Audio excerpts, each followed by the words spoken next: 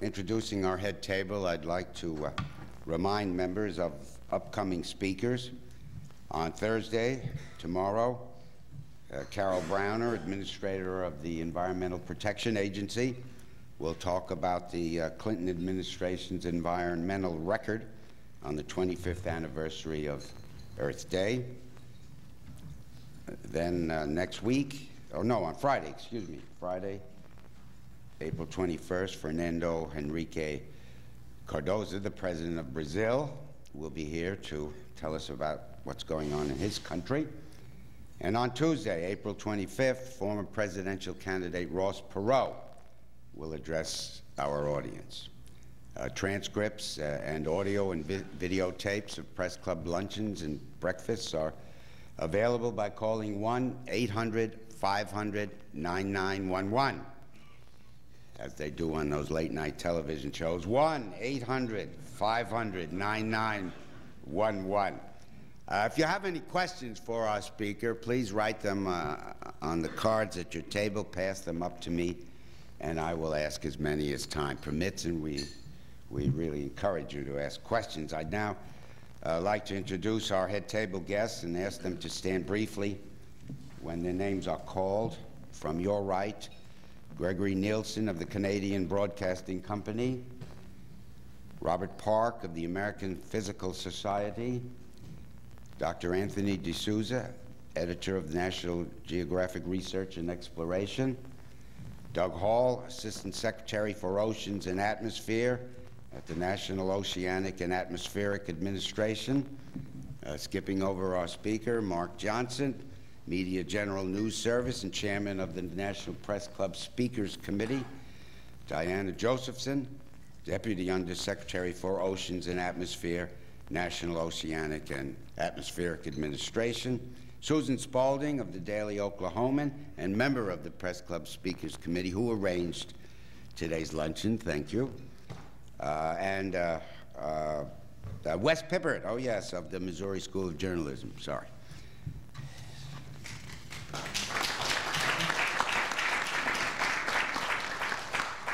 Our guest speaker today is Jean-Michel Cousteau. He is the son of the renowned ocean explorer and environmentalist Jacques Cousteau. And like his father, Mr. Cousteau, has spent his life exploring the world's oceans aboard the research vessels Calypso and Alcyone and communicating to people of all nations and generations his love and concern for the planet. A graduate of the Paris School of Architecture, Mr. Cousteau is a member of the French counterpart of the American Institute of Architects. Prominent among the projects on which uh, he has collaborated are artificial floating islands, schools, a residential and recreational complex in Madagascar, and the uh, headquarters of an advanced marine studies center in Marseille. Uh, he was instrumental in planning the development of a tropical island in the Bismarck Sea. And in 1969, Mr. Cousteau headed the team that transformed a 1,000 square foot section of the former ocean liner, Queen Mary, into the Living Sea Museum in Long Beach, California. He has also di directed the design and development of the Parc Océanique Cousteau in Paris, a public attraction that introduced new ways of teaching visitors about the ocean realm without captive animals.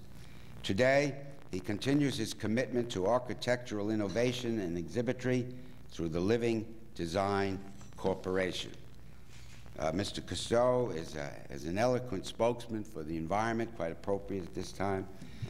Uh, his educational field study program, Pro Project Ocean Search, now in its 22nd year, offers people of all ages the opportunity to explore pristine marine environments and to study underwater ecosystems. Mr. Cousteau, as all of you know, has produced numerous films, including the Peabody Award-winning series Cousteau's Amazon and the Emmy Award-winning Cousteau, Mississippi. He was the founder of the Cousteau Society and its sister company in France. In 1992, he created Jean-Michel Cousteau Productions to expand the range and depth of educational film program through uh, exploration, adventure, cartoons, for children and environmentally oriented children's programs. Ladies and gentlemen, with the approach of Earth Day, it's our pleasure to receive Jean-Michel Cousteau.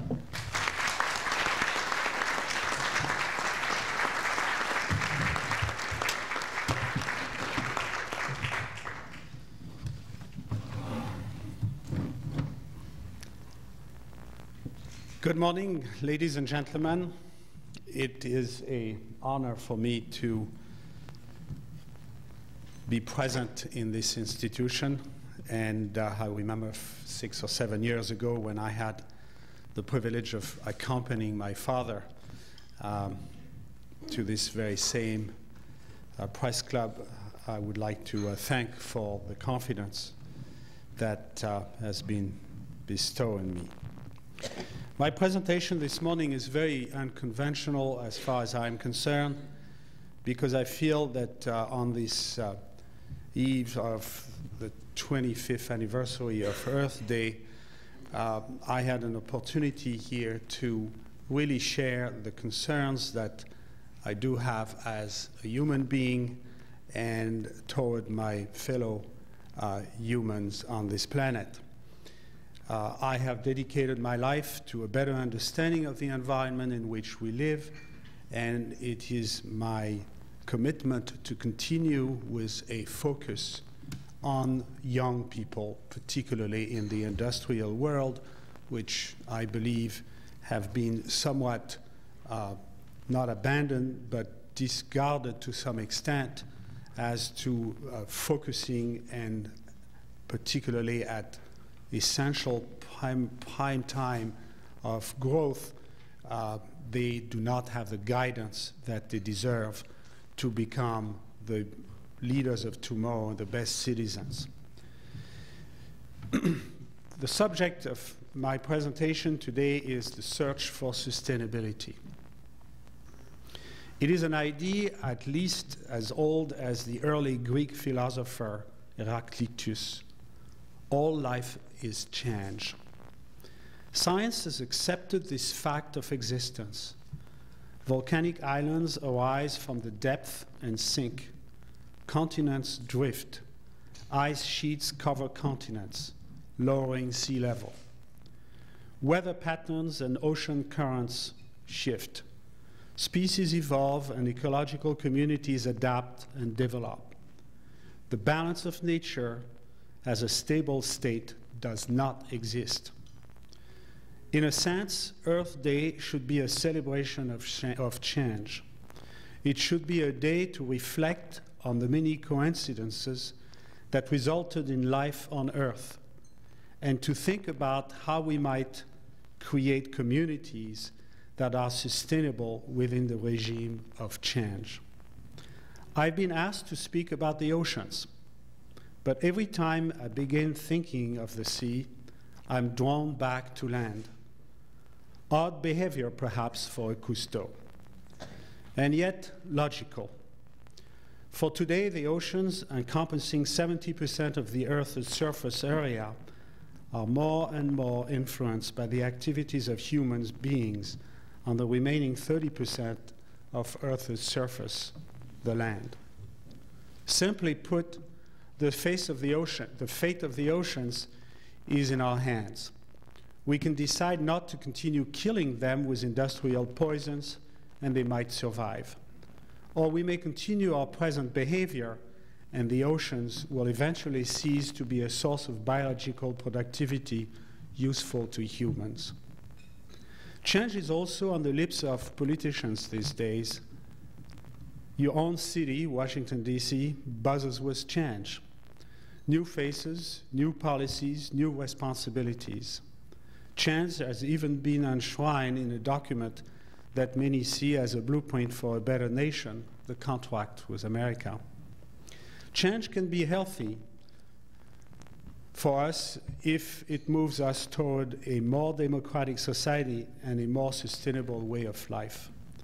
So let us look at this document from an ecological standpoint and see what some of the current proposals and slogans could mean how, with a different perspective, they might actually address some of America's real needs. As one of its tenets of change, the new leadership has pledged to seriously adapt the balance, the budget. Good. No nation can prosper if it is continually in debt. Nor can an ecosystem remain productive if more resources are taken than can be replaced. A large part of our economy is based on the exploitation of living resources. A balanced budget understands and respects nature's rhythms. An unbalanced budget exhausts resources, causing bankruptcy and unemployment. Losing natural capital means losing interest, yield, and profits as well. A good example is the northeastern ground fish industry, the ground fish industry in the northeast. Over 1,000 trawlers operate here, and the results are obvious. Despite intensified fishing activity, landings have shrunk to the 1950s level. According to NOAA, after 30 years of virtually unregulated exploitation, haddock and cod have been fished to the point of commercial extinction. Scientists estimate it will take 10 years of absolute no fishing for these species to recover. Now, the governor of Massachusetts has appealed to the president for, for natural disaster relief. What is natural or unexpected about this man made catastrophe? Nothing. It was pre programmed by people who ignored the natural budget. In balancing our budget, let us understand the environmental ramifications of what we are doing. There are many practical, proven methods for cutting the budget and lowering our operating costs. Let us start by adopting a new measure for economic success. It is by now clear that gross national product is, in, is inadequate as a measure of well being. When I was in Valdez, Alaska, to make a film about the Exxon Valdez oil spill, I was shocked to learn that although an entire ecosystem had been damaged and a formidable fishing industry crippled, the event had actually boosted the GNP because it had created so many cleanup jobs. Obviously, such a measurement does not really reward sustainable solution to human needs.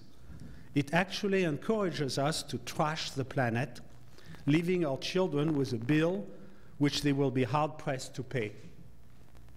So we need to attack values and incentive to those goods and services that will ease our own impact and assist future generations. That is a balanced budget not only for this Congress's term in office, but for the duration of humanity's term on Earth. The American Dream Restoration Act claims that to assist the family. It's about time we took a good look at what is happening on this area of life. The family structure is indeed unparalleled. Wages have not kept pace with the cost of living, and working people have 15% less recreation time than they did 20 years ago. Prosperity in the minds of some depends on pillaging our natural capital. One congressman claims that he will not spare a species if it means the loss of a single job. He misses the point. The American dream was built on the exploitation of natural resources. That's what made America rich. But the days of the gold rush are over. Biodiversity, a bedrock of natural renewable resources and economic wealth, is now threatened by irresponsible resource, resource extraction. What we need is a plan for sustainable management of what's left of our renewable resources. If the new laws degrade the natural capital on which America built its prosperity, it will not only cost the congressman his own single job, it will destroy the American dream for future generations and families. But family is more than an economic unit. It is the original classroom, the space in which we first form our identity. Family structure becomes community structure, the mortar of society. And conversely, destroy the community and you destroy the sense of responsibility that family provides. We are all familiar with the following scenario. The environmental and social costs of doing business à la Exxon Valdez are largely passed on to the local communities. The GNP rises, but the apparent well being of some people is accompanied by unemployment, alcoholism, broken homes for many others. The service industry moves in, creating a few new jobs, while the big profits flow out to corporate headquarters somewhere else. To induce other businesses to move in, the community lowers its taxes and environmental standards ever further. This creates a new round of social and environmental costs for the local people and their descendants. Whether I have traveled in recent years, Thailand, Mexico, the US, the same process is underway. The global cash economy is trashing communities and turning self sustaining rural people into urban refugees who sell their labor for a meager daily wage. Well, maybe not everywhere. Last year, I traveled to Ithaca, New York, to deliver the commencement address to the graduation class of Ithaca College. Ithaca is a small city like thousands of others, but with one big difference. Ithaca prints its own money. Each coupon is worth a certain amount of work. The money is accepted by all the small businesses and banks in town. And do you know what? Ithaca's small, locally owned downtown businesses are thriving. I've also spent a lot of time in Fiji. Here, the Fijians people never lost their land. Local culture thrives.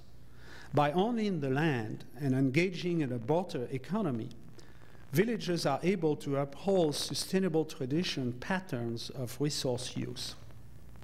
In general, the coral reefs are not overfished, and when they, are, they own their local land, the forests are not overharvested. The cash economy is making inroads in Fiji, as it is everywhere else. But the Fijians are struggling to resist external pressures.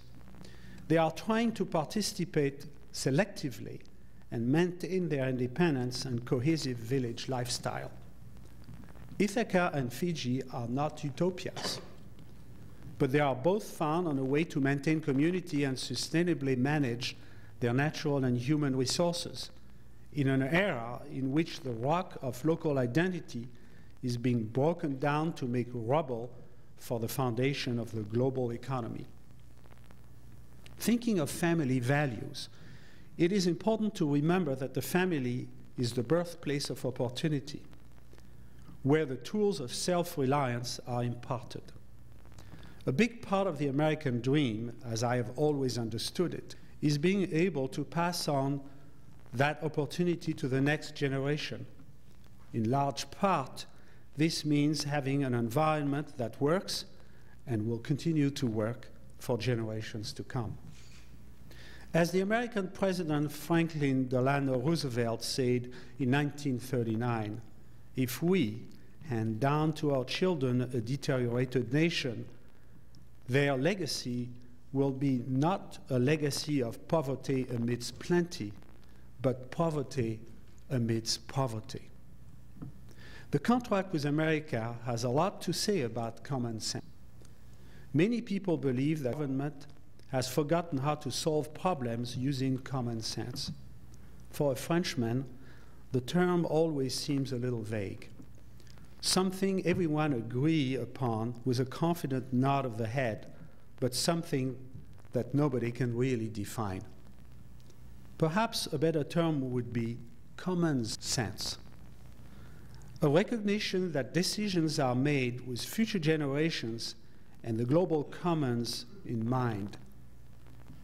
And an awareness that there are ecological limitations to our range of options. Common sense would indicate that it is more beneficial to use nat nature conservatively. We have all seen the effect of too little common sense. Let's look at wetlands, for example, one of NOAA's major concerns. Many people argue that destroying wetlands make good sense. And we have followed their advice. We've cleared, dredged, filled, and dumped to our heart's content. Some of us have become very rich, but the future and the commons have been disregarded. The US has lost half of its wetlands in the last 200 years. That's 60 acres per hour since the 1780s. Current losses to urbanizations, dams, and pollution amount to 40,000 acres each year. Now, it so happens that wetlands are very important to fishermen. 75% of all commercially valuable fish depend on wetlands in some way, mostly as spawning and nursery habitat. In the southeast, southeast, it's 98%. In fact, according to NOAA, estuaries produce more food acre than West Midwestern farmland. But the good sense people have to better a better idea, coastal development. Already half of all Americans live in coastal counties, and that figure is expected to rise to 70 percent by 2010. What will their lives be like in 15 years? They will have to pay more for seafood because there will be less of it and most will have to be imported. They will have to pay more for pollution control and sewage treatment because the marshes that cleanse dirty water will be gone. They will pay for seawalls because the estuaries that serve as storm buffers will be gone and they will feel the need to pay for travel because their own coastal zone will have lost its health, its beauty, its peace. Common sense means responsibility, stewardship, and controlled use, not uncontrolled exploitation. If we can't trust the users to act responsibly, then it is the job of government to step in and help, just as parents step in to guide short sighted, self-destructive children toward greater maturity. Conservative resource use and management is the ultimate common sense. The changes that have come over Washington are profound. The new congressional leaders aspire to, in their own words, restore trust between the people and their elected representatives. Surely that's a step in the right direction. But in order to show common sense in our management of natural capital so that future generations can enjoy the American dream, we must restore trust to the relationship between people and their economy. Today's economy is a jungle of hidden costs. The prices we pay for finished products don't reflect the real costs of repairing the damage caused by exploiting forests, rangelands, fisheries, and wetlands. So a normal person finds it difficult to act sustainably. The price of a 2x4 does not include the cost of watershed restoration. The price of a cod fillet does not include disaster reliefs, relief for fishermen the price of vegetables does not include the cost of re repairing aquifers poisoned by pesticides.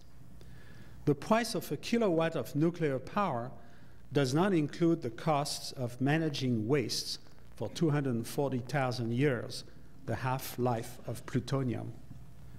If prices reflect these true costs, we would find it cheaper to manage resources sustainably rather than constantly digging into our pockets to clean up after ourselves.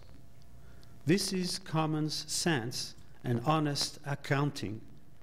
Honesty builds trust. The former Soviet president Mikhail Gorbachev used the term glasnost to describe the concept of economic transparency. This is what we need to adopt if we are to succeed. Environmentally responsible pricing would restore trust in the economy because there would be no more hidden costs, particularly environmental costs. For some, perhaps this sounds romantic. But for future generations, it may be very well the key to quality of life and survival. Remember the original meaning of economy. Oikonomia is the management of household so as to increase its use value to all members of the household over the long run. And that's in the words of Herman Daly, the former World Bank economist. I've brought along a little film to illustrate this point. It concerns the costs of restoring at great expense a natural system that provided many services for free.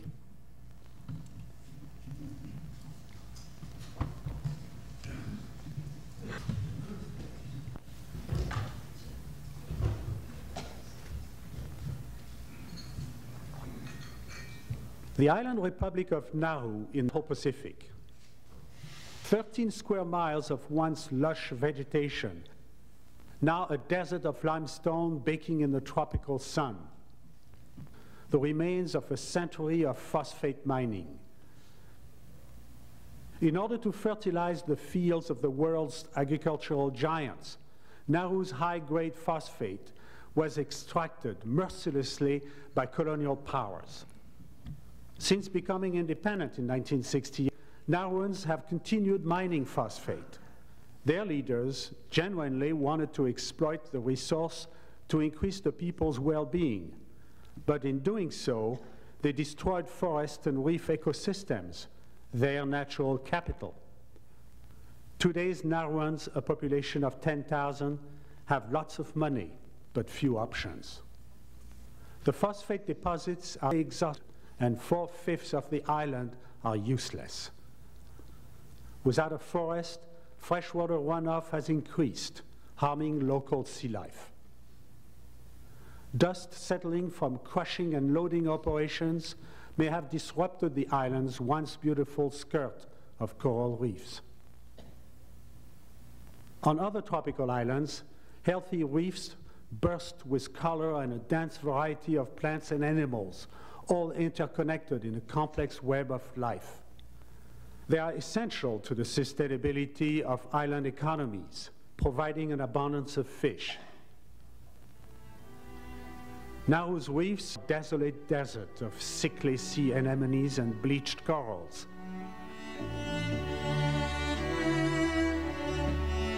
A dumping ground for a people who no longer live in harmony with their environment. Even as they learn to use the modern tools of scuba, local fishermen forget the basic rules of fishing, taking more fish than a reef can sustain. And younger fish, the future of an important food source. The point of overexploitation is dependence. I was brought up by my grandfather. We were basically living off the land. Today, the means of life and the ways of life uh, basically now depending upon mainly on what the imported stuff. Because of the transport, ships, planes, we are running out of food. I think no more rice on the island. Even Nauru's climate has changed. Rain clouds refuse to form over the desert oven. An almost futile attempt to recreate topsoil and restore rest blasting the pinnacles will cost $500 million. A huge debt passed on to the future generation. Can this money repair man's destruction of what nature had provided for free? The younger generation is caught in this against time. Can they win?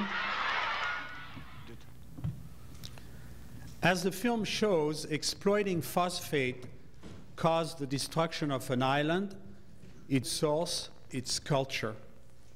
Delaying payment of the real costs only means that your children will be paying costs plus interests. The contract is opposed to what it called junk science. Good. For too long, short sighted economy interests have been allowed to overwhelm our better scientific judgment, with tragic results as in Nauru. Admittedly, much natural science is too compartmentalized to provide us with a flexible, dynamic, and adaptive strategy for resource management. We need a science that establishes and explains options, a science that informs us about what each decision will cost in environmental terms, which really means in long-range economic terms. Good science would have prevented the decision to dam the tributaries of the Aral Sea in Turkestan. Soviet economists believed that diverting water would boost and rice production. In all, 30 dams were built, denying water to 97% of all the sea's estuaries. Today, 98% of the commercially valuable fish in the Aral Sea and its tributaries have been wiped out. And the crops? Well, the Aral Sea is now a dry lake bed. Dust rises from the floor and kills a good portion of the cotton and rice plants. Without adequate runoff, pesticide poisons concentrate in the soils. The infant mortality rate stands at 10%. The cost of this disaster is estimated at $6.5 billion per year a major ecosystem is destroyed while thousands of miles away in a comfortable office, an economist says, oops. It is absolutely necessary to develop a more holistic focus on environmental management. We need to bring together research with communication, education, and training, not only so that we arrive at credible conclusions, but so we can assist decision making by providing comprehensive assessments of current environmental knowledge and its implications. We need interdisciplinary research that describes environmental resources and environmental systems. We need to promote sustainability, and we need this to be truly global as it is the environment we are trying to understand and protect. NOAA and the National Marine Fisheries Service are rightly a part of the Commerce Department. Presumably, these agencies provide the raw data informs policymakers and enlightens the public. The Marine Sanctuary Program, the Coastal Zone Enhancements Program, the National Estuarine Research Reserves, these are all investments in sustainable risk management that will assure the long-term prosperity of the nation. What we are talking about ultimately is security and survival. Our best defense, our weapons, may save the political structures we have erected, but they cannot really provide environmental security. A young country, like a child, wants everything. At some point, we grow up and accept the fact that we can't have it all, that we must establish responsible priorities. The great Republican President Dwight Eisenhower understood this. In 1953, he said, Every gun that is fired, every warship launched, every rocket fired signifies, in the final sense, a theft from those who hunger and are not fed, those who are cold and are not clothed. The world in arms is not spending money alone. It is spending the sweat of its laborers, the genius of its scientists, the hopes of its children. So let's think about some of our priorities. The $1 billion spent building 400 tanks could pay for prenatal care for over 1 million mothers. The $1 billion spent on two submarines could send half a million low-income students to college.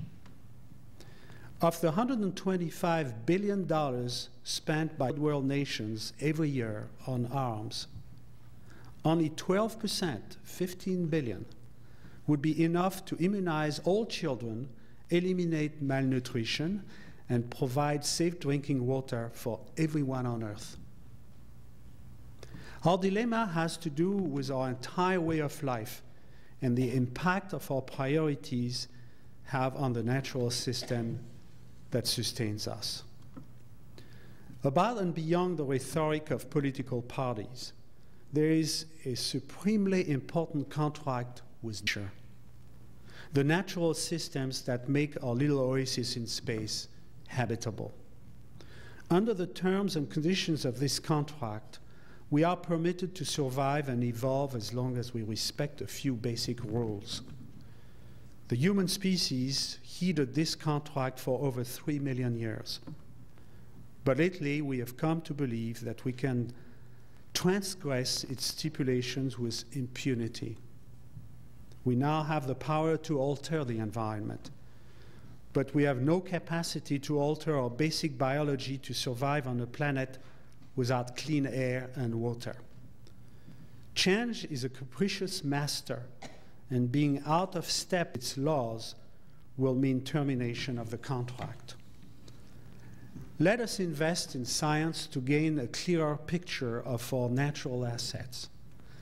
Let us strengthen legislation that adheres to basic ecological facts, the Endangered Species Act, Clean Air Act, and Clean Water Act are important building blocks for a coherent common sense approach to the environment. Let us develop a truly consistent strategy of options, hearing on the side of prudence and leaving future generations more than just money, but respect and choices. Let us ask ourselves, each of us, is the environment where we grew up better or worse today than it was then?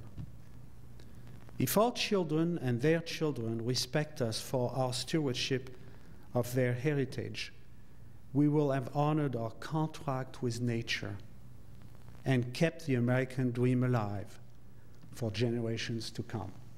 Thank you very much.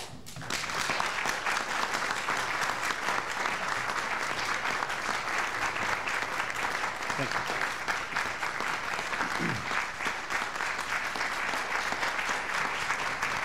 Thank you very much.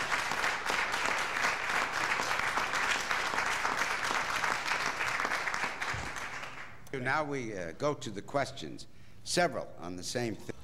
Uh, with the uh, 25th anniversary of Earth Day approaching, are young people as interested in the environment than they were 25 years ago? The answer is yes, uh, absolutely. 25 years ago, environmental issues uh, were not even uh, words used in a common sense. Uh, they uh, were new words which were brought about just like pollution was, ecology was, environment was. Um, I think that uh, all leaders have made a formidable uh, job of conveying some of those concerns.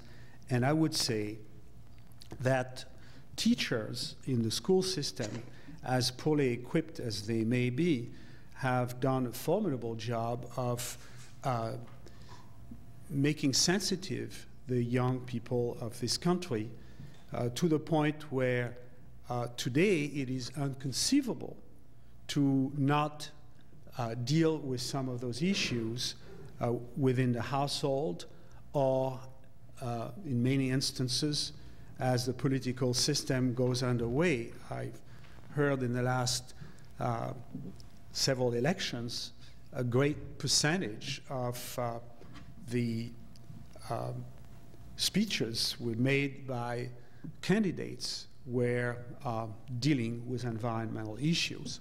So I think it's here to, to stay, it's here to uh, last. It's uh, no longer what it may have appeared in the 70s, which was kind of a fashion. And uh, I have to say, and I, I was part of it, the environmental movement had no plan, had no directions.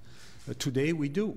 We have plans, we have directions, and I think we uh, have gone from uh, being looked upon as uh, uh, people who were coming to destroy the system and were in opposition to the establishment, to having a dialogue with uh, the people in charge, the people who are making the decisions. And uh, I've seen very, very major changes.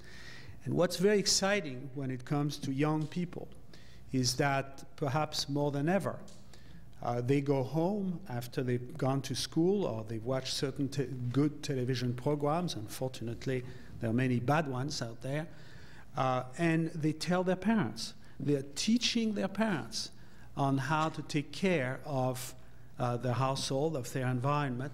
And uh, because we have grown in a different environment, uh, we do not have the reflexes that young people have.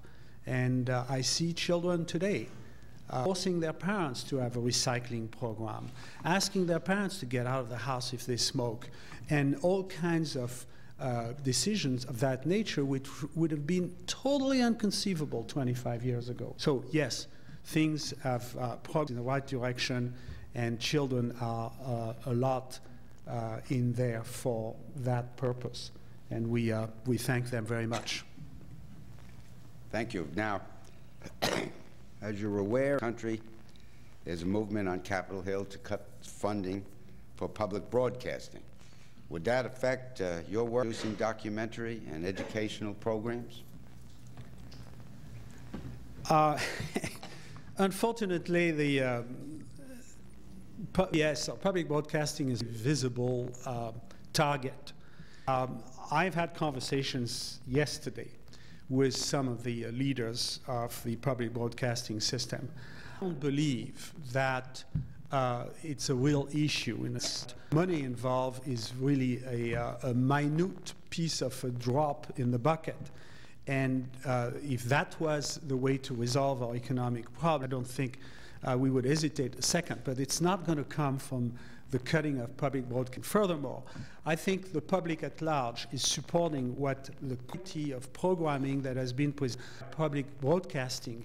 If the objective is to cut uh, the meager resources of a, um, a, a television uh, system that has brought about quality programming uh, and encourage uh, others to produce more of the bad programs which uh, prevail on our television channels today, which are so so degrading to, particularly to today's youth, so much so that uh, they, are so much bombarded by programs on crimes, violence, uh, and, and ugly, that, and they, they are lacking the guidance that uh, PBS offers, um, that they are confused and don't, do not make a difference between um, fiction and reality to the point that today uh, we see uh, juvenile crime going on the rise, probably because why not me? Uh, these guys have guns on the, on the screen, I can have a gun too. And I think it's not their fault. The criminals are us because we have not provided that guidance that they needed. And I think to uh, deplete the, uh, the, the, meager resources of such a small budget that uh, is representing is really a, a, a bad move uh, which is not popular. And in any event, if that was happening, it's not to destroy PBS. Thank you. Now, as I said, uh, EPA Administrator Browner is appearing here tomorrow to report on the Clinton administration record on the environment. How do you rate the Clinton administration environmental record? And secondly, is Vice President Al Gore, who appears to be the only person in the administration, according to the questioner, speaking out on environmental issues, is he doing enough? Uh, I have to say that overall I've been a little disappointed by the performance of this administration when you compare what was promised to what has been accomplished.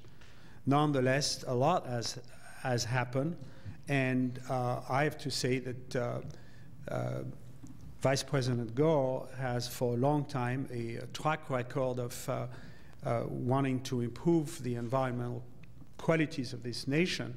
And uh, I'm sure he's doing everything he can uh, in his power to accomplish that.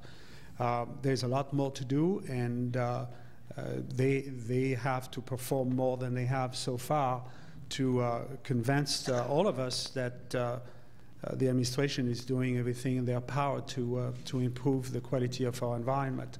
So I would say that the performance has been not up to uh, the expectation, in my views, some of it has taken place, a lot more can happen.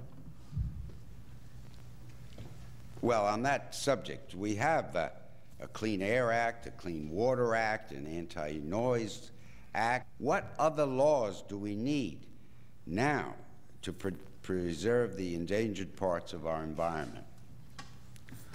I don't think we need more laws. Uh, we have enough laws. We need to implement those laws. We need to enforce them. We need to make sure that uh, we manage our resources better. If laws that I would promote today is to no longer look at the ocean as a no man's land where the majority of the surface of our planet is not under any kind of legislation. And that's the open ocean where you can do anything out there. So, if anything, I would encourage strongly to create at an international body level, and I'm not sure it's the United Nations because United Nations has no decision power, but in some fashion to create the law of the sea, a real law of the sea, which is, uh, as uh, Mr. Pardo said, a common heritage. We chopped off the ocean or pieces of the ocean uh, with the, uh, the economical zone or the 200 mile zone, and even that is not properly administered. In other words, we're dealing with a very abstract subject there where uh, resources which are today in, let's call it US waters, maybe in Mexican waters or Canadian waters tomorrow, because fish move and, and these resources are not properly managed. So they are on the verge of extinction for many of the species. Uh, we are taking more out of the ocean than the ocean can replace, and that is, in economical terms, a complete nonsense. We are gobbling up the capital instead of living off the interest, which would be the surplus of a population we are in the process of depleting those vital resources. And that's where I would put new legislations at the international level uh, in order it would preserve jobs to start with, but it would, uh, uh, it would preserve those resources for future generations. Today, and I'm saying this from first-hand experience, I grew up on the Mediterranean coast on the French Riviera, and what I used to see when I was a child when I was diving there with my family, when I was going out with fishermen. I can see today. I cannot take you there and show you what I used to see when I was 15 or 20 years old. It's gone. And when it comes to very personal issues now, when I want to take my own children and I want to show them what I used to see, it's not there. So the frustration that rises from that uh, gives me a lot of strength to want to stop this uh, downgrading uh, quality of life in the ocean and make sure that we protect and preserve what's left and manage it properly, not to starve people to death, on the contrary, to support more people than we have so far. And uh, so, laws, yes, as far as the ocean is concerned, globally, in order to no longer treat the ocean as, as a no man's land, but as a place that we depend upon uh, no longer as a universal sewer, but a place that nourishes us and uh, needs a great deal of management and recognition and support. Is there a nation in Europe or elsewhere that you can point to as a model for the United States to follow in environmental matters? No. There is not a nation I'd like to point uh, as, as a model. I, uh, I've elected to live in your country uh, for the last 27 years for a very good purpose. And I will call it the nation of the extremes, uh, the, the bad and the good. And I think if anybody or any nation has showed uh, ways to uh, change things around, has the power of doing this and the resources of doing, the United States does. Now, there are other countries who are doing a lot of efforts uh, and, and successfully, but um, I don't think there's a model out there. I think as, as a people of this planet, we need to uh, continue to understand, do more uh, concrete uh, research and better understand our environment in order to better manage it. And I think the US is probably as well, if not much better equipped than any other countries in the world. Uh, there are uh, good management programs in some of the nations uh, in Western Europe or in Scandinavia. And um, in Australia, for example, the, the Great Reef uh, is extremely well managed uh, in, in many ways when you consider all the pressures that are put upon that environment. So there are ideas elsewhere that could be picked up and brought in and used so we don't have to reinvent the wheel. But I would say th this country can be the model and can be the nation that uh, would be looked upon by others as many other countries are looking upon the U.S. as uh, the model for uh, a better living and better management of our resources. In the final analysis, the questioner asks, isn't the concept of sustainable development really an, uh, an oxymoron? Well, no, uh, I, I, I, cannot uh, agree with that. I think, see, we, we've made a big mistake uh, in the last maybe 10 or 15 years of believing that we as a species are part of an evolutionary system or process. It's not true. Uh, because of our formidable tools, which are our hands and our brain, uh, we have been able, after three million years of struggling for survival, we were not doing very well as a species for the majority of our existence on this planet.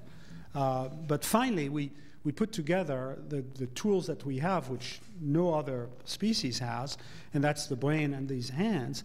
And we literally came out ahead by uh, finding a way to protect ourselves. And, and the protection is expressed here, where we have clothes and we control the, the temperature in which we are, we're protecting ourselves from outside, we can go faster places and so on, to the point where we have literally removed ourselves from being an intricate part of the environment. We are no longer, and I know I may shock some of you, we are no longer a part of the environment. But the paradox comes from the fact that we depend upon it for the quality of our lives, whether it's the fundamental uh, necessities, which is the quality of air and the quality of water. If you don't have either one of those, you're gone, you don't exist. And then from the quality of our life, which are more abstract uh, values, such as enjoying the pretty flowers on, the, flowers on, on the table, or the butterflies, or the birds and the fish. Uh, without them, life would becomes a little boring, or very boring. So um, I, I think that if uh, we consider that we have removed ourselves from the natural processes of nature, uh, we cannot call ourselves part of evolution. We cannot say that as we wipe out species, whether they're plants or animals on land or in the ocean, uh, it is a natural process, a natural uh, evolution. It's not. We, are, we really have made ourselves an accident. And we should take advantage of that to make our lives better than, than it is, rather than letting everything go down. The, so um, I would say that uh, we uh, uh, as a, a people, we have a responsibility toward ourselves. The butterflies and the birds and the, and the flowers don't care. We're the only ones who do. And uh, as, we, as we manage those resources well, we'll manage the quality of our lives better. Is the American obsession with lawsuits spreading to the seas with courtroom fights over recovery rights and other nautical litigation? well, um, yes. Uh, there are too many lawsuits. Uh, I, I, remember a great um, human being who passed away, unfortunately, a couple years ago, uh, the inventor of the flashlight and the side scan sonars, Dr. Harold Edgerton from the MIT. Uh, I had the, the, privilege of growing up with him in many times of my life. Uh, and he told me shortly before he passed away, he said, You know, Jean Michel, all life I lived with four principles. And I'll, let me pass them on to you. And I've adopted these. He said, Work as hard as you can. Tell everybody everything you know. And that's the answer to your question, the third one. Make all your deals with a handshake. and the fourth one was have fun. And uh, I'm doing all of this. I think uh, the legal system is taking uh, an overproportion. I have lawyers, everybody has lawyers, even some of them are my friends. Uh, so, but uh, look at what's happening in California now. I mean, this is totally absurd. The amount of resources which are wasted into this uh, gobbledygook out there. Uh, who cares? I mean, who? It's a little incident which I'll tell you, in the history of this country, will disappear in, in the garbage can very quickly. So, uh, yes, there are too much, too much legal disputes which could be resolved very simply by. Uh, see, we started having lawyers when we stopped fighting physically, fist fighting. We sent somebody else to do it.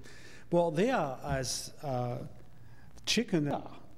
So. Um, instead of doing this, I think we should go and resolve the problems ourselves head, head on. At least I always try to do that myself. It costs a lot of money at the end of the month.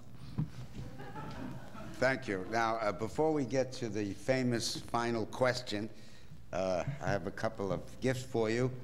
First, a certificate of appreciation for being with us today. Coffee mug, National Press Club coffee mug for those uh, long days and nights ease. Well, thank you very much. I really appreciate your hospitality and the push uh, and the honor of being uh, a member of your club. I understand that uh, uh, my picture is going to be on the wall for the next two years. Uh, please, uh, if you feel that I can be of help and assistance, invite me before it's off. and Uh, otherwise, in, in any instance, uh, uh, believe me, I'm here to support, to help in every possible way that I can. Um, I'm a, a, a, great friend of the institutions that have invited me here, and I want to thank NOAA for their support. And uh, they, they should know that uh, I, I, will work as hard as I can um, to help them if I can and any other people that I can assist because I have a mission, I believe in it, and uh, I uh, like to look at kids straight in the face and know that I'm doing everything for them. Thank you very much. Uh, now I have a final question, sir, for you. And then, but, but, but after the answer, uh, please stay seated for a minute. I have a few announcements to make. The final question. Speaker Newt Gingrich will address the National Press Club in July, right? July. Would you please give me now one question to ask him when he comes?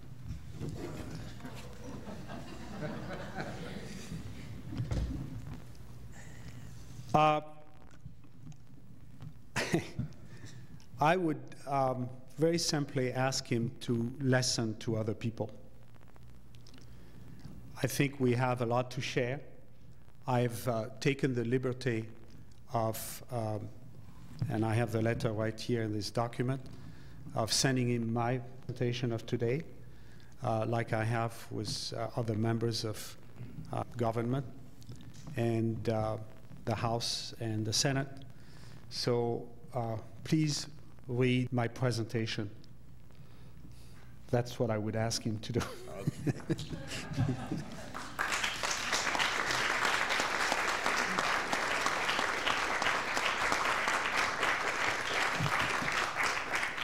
Now, as you know, we have some workshops out there uh, that will follow our breakfast this morning. Uh, let me call your attention to them. At 10:15, about 15 minutes from now, the uh, Coastal Zone Management uh, Workshop, Partners- Partnerships for the Future, NOAA